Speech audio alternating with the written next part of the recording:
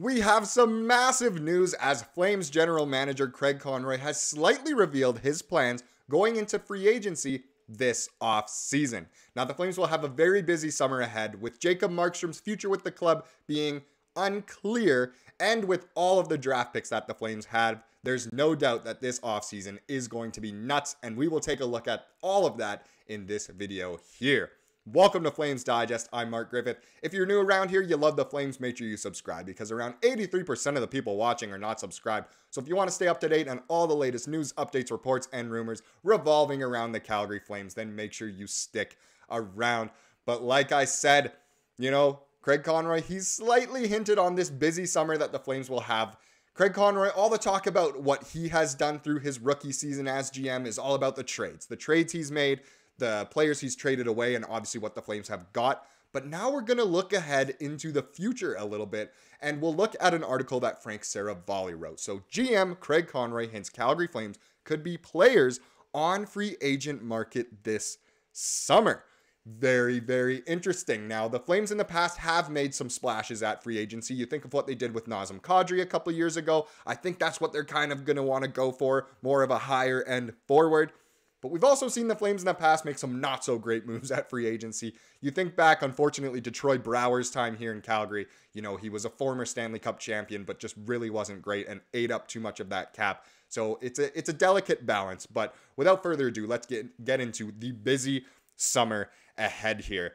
And like I said, Craig Conroy, you know, he's already had one summer under his belt where, you know what, he instantly traded away Tyler Toffoli and it ended up being a pretty good trade for the Flames. But this year's different because they have a lot of cap space and could sign some free agents. And like I said, I'm assuming they'd rather have some of the higher end free agents. It's just a matter if they'll want to sign in Calgary. And that's a big thing for Conroy is players who want to play in Calgary. But let's get into this article here. So busy summer ahead. Still in the relatively early stages of whichever R word you choose, rebuild, retool, reshape, it might be a surprise to think that the Calgary Flames would be a player in free agency this summer. But Conroy is already looking ahead to the market and thinking about what might be able to make Calgary more competitive. Think back to last Canada Day. There was no manager less busy than Conroy. He didn't sign a single UFA to a contract worth more than $1 million per season.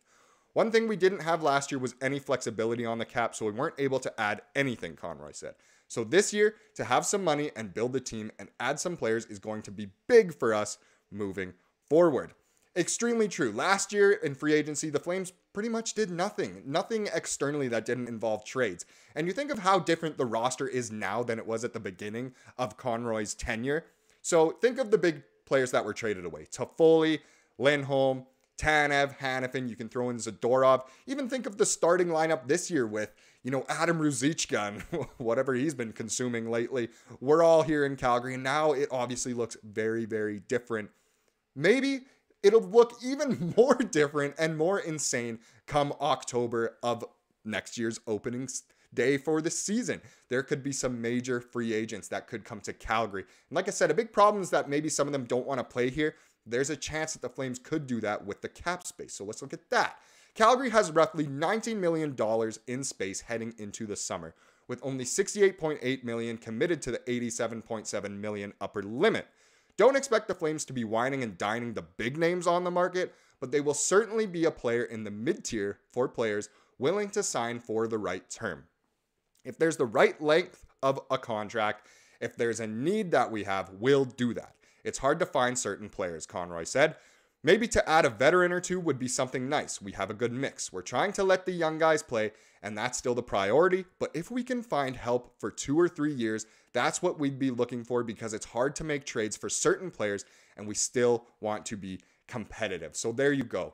They're not going to be signing any huge contracts for players that want to be here for a long time, unless somehow one of those those players is interested in the Flames signing long term. I can't really see that with where the Flames are at right now as a competitive team or in competitive team, if you want to call it that. But either way, to get sort of a veteran that could play here for a bit, it sounds like another Troy Brouwer kind of situation here, but hopefully it'll be a little bit better than that and provide even more guidance. Um, so let's take a look at some of the potential UFAs that the Flames could be looking at this offseason. Now, I'm going to look at just the top UFAs going going into this offseason. It doesn't have to be Calgary's biggest targets or anything. I'm just talking about the top ones and ones who could maybe make it into a Flames jersey come uh, July 1st, but we will see. Let's take a look at the list here. So these are the top 12 UFAs after this season is done. And if you scan through the list really quickly, you'll see there's a lot of former Flames on it. But let's go top to bottom here. Sam Reinhart having an insane season, second most goals in the league. I think the Panthers will do everything they can in order to keep him. I do not see him being a potential suitor for the Flames. Next, Jake Guentzel, a little more realistic, but once again, you know, an American guy. He wants to play in probably a competitive place. I don't fully see him being a guy who would come to Calgary either. Steven Stamkos, no way. The Lightning will do whatever they can to keep their captain who has brought them a couple cups. Also, just on that note, when are we going to talk about how Kucherov is the best player in Lightning history? I know a lot of old heads will say it's Lecavalier or St. Louis. It's it's Nikita Kucherov. Wow, that guy's insane. He should win the Hart this year. Patrick Kane next, no chance he's coming to Calgary. Noah Hanifin, uh, uh, I laugh at that one. Noah Hanifin, is he going to be in a Flames jersey next year? no. Next, Jonathan Marchessault. This one is actually a little bit interesting. I would assume the Golden Knights will do what they can to keep him. He won the Conn Smythe last year. He won them the Cup. He's one of the original Golden Knights. I would assume they want to keep him there. But let's say they don't have enough cap space there's potential that he could end up in Calgary. I mean, Jonathan Marchessault and Jonathan Huberdeau are similar names. Maybe they'd want to link up. Who knows? Now, next, Matt Duchene. Matt Duchene for all the old fans. Matt Duchene, that is definitely a possibility here. It sounds like he could go for one of those smaller contracts, two, three years. I know he's having a bit of a renaissance season here in Dallas. He's the man of the thumbnail, so I did want to focus on him a bit. But Matt Duchene is definitely a potential guy that the Flames could bring in. Duchene's time playing in Canada so far in his career hasn't been great. I mean, he kind of, the trade for him to go to Ottawa kind of destroyed the Senators as a franchise. They're still rebuilding because of it. He had an awful time there. And then thankfully for him, went down to Nashville and things got better. And he's been even better in Dallas. But his contract's over. And I don't know if Dallas is going to want to pay him over having some other guys while their window is still open. I would assume Dallas will pursue him and offer him you know, a reasonable contract, but the Flames might be uh, able to offer him more money and kind of in that position that Conroy wants. Now it's just a matter of if Duchene would actually want to play in Calgary. But I think he is what the Flames do need.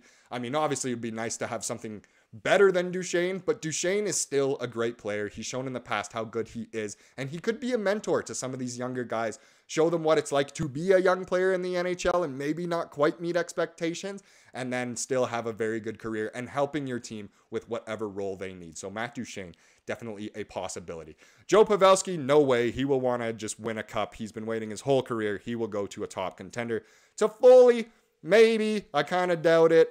Lindholm, maybe. I kind of doubt it. Montour, uh, I'm not too sure. I, I think the Panthers will also try to hold on to him, but obviously they'd rather get Reinhart. And I think after this season, the Panthers might also want to commit to Forsling over Montour. But Montour, there is potential he could come to Calgary if he's given an outrageous contract. And I don't know if that is in the Flames' best interest.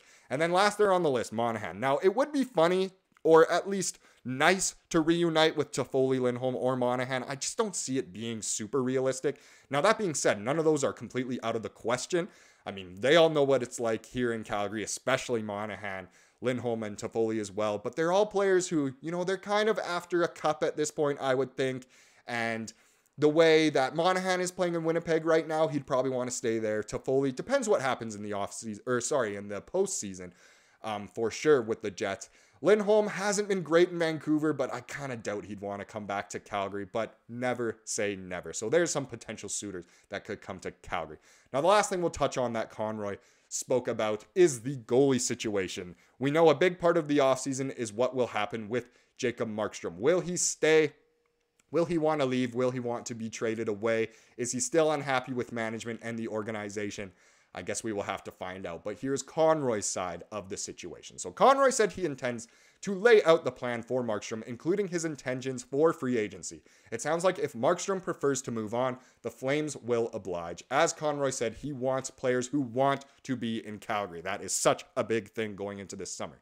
We need to sit down and talk, Conroy said. I need to see where Marky's head is at if I can add something in free agency, what he is thinking. We just need to sit down and have a conversation after the season. Right now, I just want him to play and focus. He's been banged up a little bit, and hopefully, he is back soon. He should be playing um, on Saturday against Vancouver. We'll have to see. We'll have to see how much he does play down the stretch here, and if he even looks like he wants to be here at all. Um, last thing, complicating manners in a good way is that goaltender of the future, Dustin Wolf, has been excellent. Wolf, 22 and the two time AHL goalie of the year, has a 931 save percentage in four starts in March since Markstrom went down with injury. Wolf has played really well, Conroy said. I believe goaltending is the most sought after thing in the NHL. I told people coming into this season that I'm comfortable with all three goalies, and that's going to be one of our big things here. We've got to figure that out, but when you have a position of strength, it's a great thing for the organization. Very true. And Vladar obviously is out for the season um, after go- undergoing hip surgery. That'll happen next week, but hopefully he will be back fully healthy for the start of next season. And I know the Flames will be committed to him and his future with his one year left on his contract. He could be a potential um, piece that could leave at next year's trade deadline, but we will have to see. Either way, the goalie situation isn't the worst thing, and I'm sure Conroy will do what is best for the Flames and for Markstrom. Thank you so much for watching this video. If you like what you saw here today, make sure you subscribe and have a fantastic weekend.